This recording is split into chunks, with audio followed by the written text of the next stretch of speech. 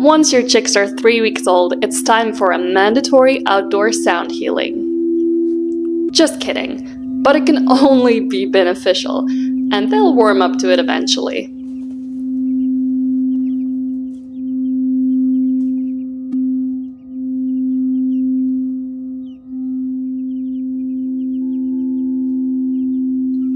After week 3, it's time for a little field trip.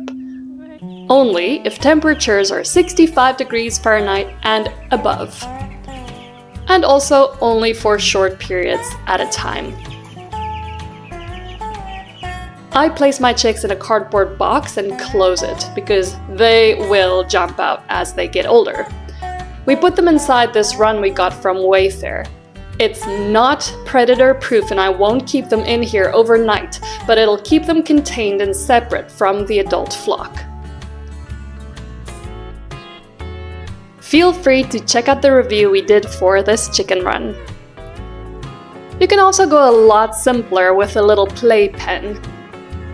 I have linked in the description below what worked for me the first time that I raised chicks.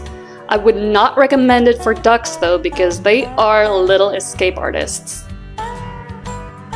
The pecking order can be so hecking brutal. It kind of makes sense when we remember that chickens are the closest living relative of the velociraptor. As I was moving my chicks around, I saw that my little Swedish flower hen has been pecked in the neck. I immediately reached for this spray, Banixx, that needs to be applied about twice a day. The next day it was already way better and the chick seemed not to be bothered by her neck anymore. I placed a link in the description if you're interested. Health checks are super important throughout this chickie journey. It is especially a good time to do it while moving the chicks from the brooder to the cardboard box into their playpen, just to do a quick overall wellness check. For more information on healthy chicks, check out this video that I also linked in the description below. If you have an existing flock, it's very important to keep the chicks separate from them. We tend to humanize our animals and think that they'll be all motherly, but remember the pecking order? Surely the other flock members won't be impressed with these babies eating their food and wanting to sleep in their roost. If you want to learn more about the beautiful Sussex, check out this video. I also linked it in the description below.